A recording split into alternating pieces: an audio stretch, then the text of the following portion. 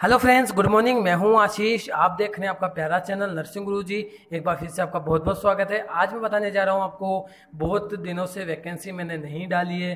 Technical issues की वजह से बट अब वैकेंसी आ चुकी है ट्यूटर की। और इस वैकेंसी की पूरी डिटेल इस वीडियो में आपको मिल जाएगी। एम, न्यू दिल्ली एम्स में ही वैकेंसी निकली है। ट्यूटर की निकली है। कौन सी होगी लास्ट डेट या रिटर्न एग्ज़ाम होगा या इंटरव्यू होगा? सारी डिटेल के लिए बने रहिए वीडियो के साथ। चलिए स्टार्ट करते हैं।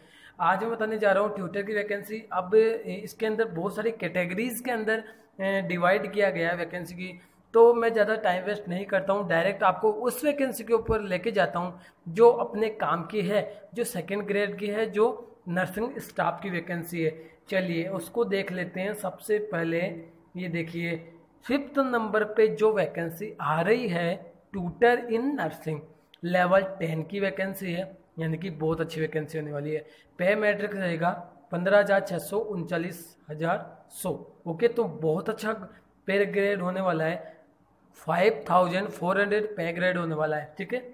अब इसकी क्वालिफिकेशन सबसे पहले क्वालिफिकेशन की हम बात करें तो क्वालिफिकेशन क्या बना B S C nursing degree from a recognise institute and university okay? जो सेकेंड ओवर के अंदर दिया गया है, वो देख लेते हैं बोले registered nurse and midwifery with sister tutor diploma okay जो सेकंड मांगी गई है three year experience in teaching institute मतलब अगर आप जीएनएम हो तो आप इस वैकेंसी को अप्लाई नहीं कर सकते क्योंकि फ़र्स्ट ग्रेड की वैकेंसी ओके एक ग्रेड की वैकेंसी है। दूसरी क्वालिफिकेशन की बात करूँ, अगर आप बी एस नर्सिंग हो तो डेफिनेटली आप इसको अप्लाई कर सकते हो। बट अगर आपके पास थ्री ईयर का टीचिंग का experience sorry three year experience teaching institute अगर आपने कोई कॉलेज में थ्री ईयर का एक्सपीरियंस टीचिंग का नहीं लिया है तो आप इसको अप्लाई नहीं कर सकते, क्योंकि बहुत बड़ी वैकेंसी है। पे ग्रेड टेन लेवल की वैकेंसी है तो डेफिनेटली बहुत बड़ी वैकेंसी होने वाली है। ओके अब बात कर लेते हैं एज की बात करें तो फिफ्टी ईयर एज मांगी इसमें ओके और आगे बात कर लेते हैं पोस्ट की बात कर लेते हैं तो पोस्ट पूरी इसमें फोर दी गई है। ओनली अगर जनरल की बात करें तो थ्री पोस्ट है एससी की बात करें तो सिंगल पोस्ट है। ओके इंटरव्यू एंड और रिटर्न टेस्ट सबसे पहले बता दूँ कि इंटरव्यू लगेगा। इस जिसको अपन स्किल टेस्ट भी आजकल बोलते हैं, बहुत यूज़ लेने लगे हैं हम वाले स्किल टेस्ट को। दूसरे नंबर पे होगा रिटर्न टेस्ट आगे बात कर लेते हैं इसकी डेट की। जो मेन चीज़ है इसकी डेट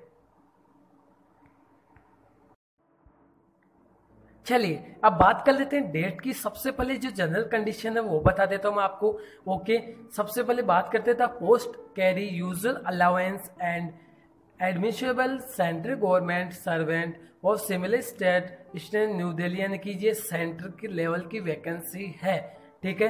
डेट की बात करें तो aspiring applicant satisfy eligibility criteria in all aspect can submit their application only through online अब ये बात भी क्लियर हो गई कि ऑनलाइन मोड रहेगा ओके द ऑनलाइन रजिस्ट्रेशन और application is made available on AIIMS website www.amps.exam.org मैंने डिस्क्रिप्शन में भी दे दी है।